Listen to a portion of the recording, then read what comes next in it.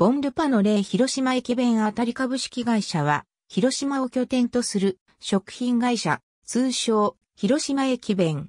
広島駅の駅弁の調整販売から始まったが、その後業態を拡大し、レストラン経営、企業内食堂などの運営受け負い、ケータリングコンビニエンスストアやスーパーマーケットへの卸などを広く手掛けている。また、上流側の農場経営にも参加し、秋田方市の第三セクター農場、秋田方アグリフーズの筆頭株主となっている。本社は、広島県広島市東区屋が5丁目1の2。社税は、地産地消、フロムファーム2テーブル。1901年4月1日、創業。当時の称号は、中島海良県。同年まで大阪を出自とする水、両県が、広島駅で、校内販売を行っていたが、その事業を引き継ぐ形であった。1943年3月1日、戦時統合で、広島駅構内営業業者3社と、海田市駅構内営業業者2社が統合され、広島駅弁あたり株式会社となる。統合されたのは、広島駅側が中島改良県、羽田別荘弁当部、吉本屋、海田市駅側が山岡工業県、大田山陽県。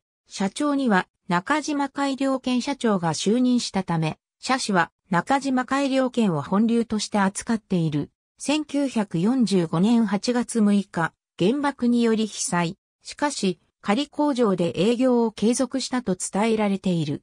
同年12月には、再建新社屋を竣工している。1949年2月1日、売店営業を開始。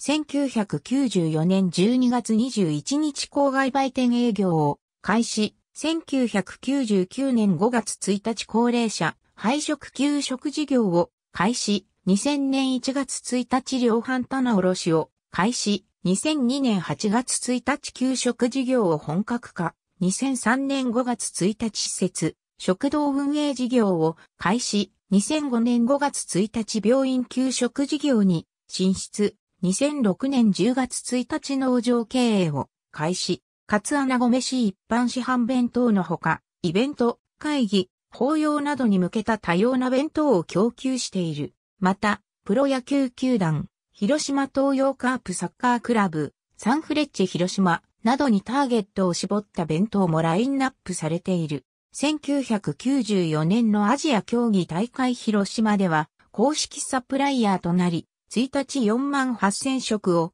供給したという実績もある。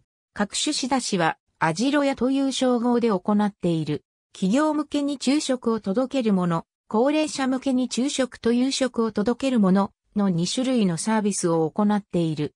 各種事業所、社員食堂、病院給食などの請負運営事業、各種施設のレストラン運営や出張調理事業、デパートスーパーコンビニなどを対象とするお惣菜や弁当類などの卸売事業、一部では小売やイートイン運営も展開。ありがとうございます。